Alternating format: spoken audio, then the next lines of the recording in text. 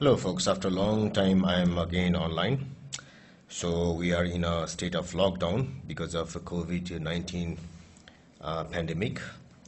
Uh, and uh, during this lockdown, a lot of problems arose. Uh, lots of problems, uh, though it has been done for our benefit. Uh, so uh, the, it's all the whole society has uh, broken down, let us say. Uh, economically, we are having a great downfall. But before that, it is life that matters. So that's why we have to tolerate this much. And uh, even if we decide that uh, we won't be disturbed by those things, we get disturbed. Uh, we see uh, people uh, facing difficulties in their daily livelihood. We see people difficulty in uh, feeling difficulty in getting medical help in because of some other health problems also. We also uh, hear and see a lot of negative news, lots of negative news, and uh, again we see lots of news uh, in which people, people without heart, let us say, without heart, trying to benefit uh, at this uh, junction, juncture of uh, uh, social chaos that fills our heart with anger and uh, that uh, makes uh, our regular job uh, uh, difficult, let us say, difficult. But still, uh, today I realized that uh, in, in addition to all these things, uh, there are a lot of subscribers, a lot of people who are still waiting, waiting for, mm, waiting for me, to, me to post videos, so that I can solve some of their problems. And just uh, I got this problem uh, today by some, some, some, some. I forgot the name. I thought that it would be very easy, but it was not because that's what Cambridge does. Cambridge does. We feel that the answers are easy, but uh, many times, uh, many times they, they they betray us. Let us say they betray us in joking sense. Uh, we have to dwell further deeper to find the proper answer. So same problem here. So it's 19 October, November, October, November, uh, paper 1 1, and the question number is 10. Uh, it says two gliders are traveling uh, towards each other on a horizontal air track. So this side, this side. Glider P has a mass this much, uh, 0.30 kg, and is moving with a constant speed of 1.2 meter per second. Glider Q uh, has a mass of 0.60 kg and is moving with a constant speed of 1.8 meter per second to this side. The gliders have a perfectly elastic collision, so uh, it means that uh, no uh, loss of Ke. What are the speeds of the two gliders after the collision? So when I tried this problem, I could have done uh, that formula, uh, relative velocity of approach equal to relative velocity of separation, but that gave two answers, and that gave two choices here two choices here because the headings are of speed. Had they given the velocities, uh, only one choice would have been correct. But they give two choices here, so that's why uh, they gave speed speed. So both these choice C and D was correct. So that's why I uh, I decided that uh, let me use the whole formula. Let me use the whole formula uh, which we derive uh, derive in our notes. So when two bodies uh, collide, bodies B and bodies Q, uh, in, el- in elastic collision, perfect elastic collision, the final velocity of uh, P and Q are given somewhat like this.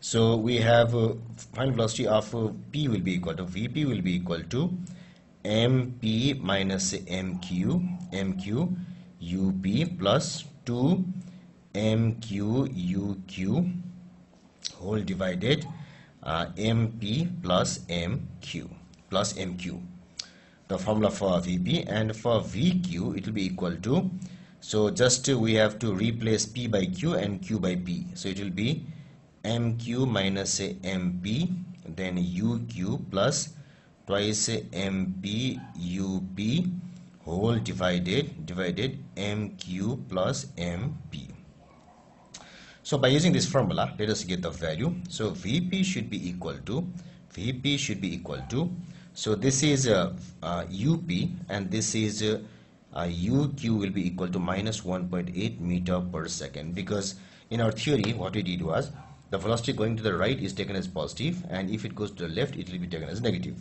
So I followed that principle. So Up equal to directly 1.2 meter per second and Uq equal to minus 1.8. So let's follow the principle.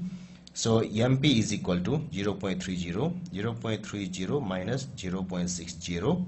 This UP is equal to 1.2, 2 plus 2 MQ is equal to uh, 0 0.60 0 0.60 and this uq is equal to minus 1.8 1.8 so then then then we have we have in the denominator we will have we'll have, we'll have mp plus mq so mp is equal to 0 0.30 and mq is equal to 0 0.60 so the answer here will be equal to so let me so uh, this minus this is minus 0 0.30 so it is uh, uh, 0.30 uh, this uh, minus sorry sorry.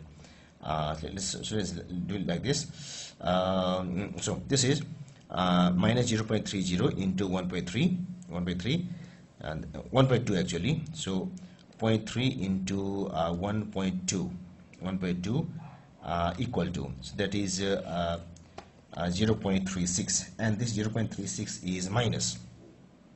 It is minus. So it is uh, uh, let us say minus 0.36 plus into minus is minus again. So this into this will be equal to. So 6 to the 12 so it is 1.2 into 1.8 equal to minus, uh, 2.16 whole divided 0.90 so it should be equal to 2.16 2.52 divided by 0.90 and it becomes equal to equal to. So 2.52 divided uh, 0.9 will be equal to 2.8 so it's equal to minus 2.8 meter per second. So it means that this body p will come back like this head-on collision and its velocity will, will be equal to 2.8 meter per second so if i go to answer choices this only choice c is correct choice is correct so now what we need to do is if I apply this formula, if I apply this formula, this formula, this formula, you will obtain this 0.2 and that's positive. So positive means that the body will go to this direction. So this P after colliding goes to this direction and this into this direction. So the correct choice becomes choice number C. Choice number C. Now the question arises as I mentioned in the beginning as well. What happens is uh, can't I try that approach, uh, relative velocity of approach equal to velocity of separation? So we can do, but uh, that gives you two correct choices. So what I can do is, let us go, go through this. So this minus this, 0.6. So let's say, uh, let us say initial velocity of approach. So the initial velocity of approach is, uh, relative velocity of approach is equal to uh, VB, uh, sorry, VP, UP, sorry, UP minus UQ is equal to 1.2 minus minus 1.8 is equal to 3.0 3.0 so that means the relative velocity of separation relative velocity of separation should also be equal to 3.0 so if I do this if I do 1.2 minus 0.6 we can come come to this. If I do plus we can come to this. So not correct. So if I do this minus this this is not true. This plus this not true. But here if I do this minus the, this not true. This plus this yes I can have 3.0 3.0 and here if I do this plus this 4.2 this minus this 3.0 so 3.0 is given by two two choices. So we could not do that approach and that's why we got, the, through the very basic one very basic one but a bit a longer one and got the correct answer. So the correct choice is choice number C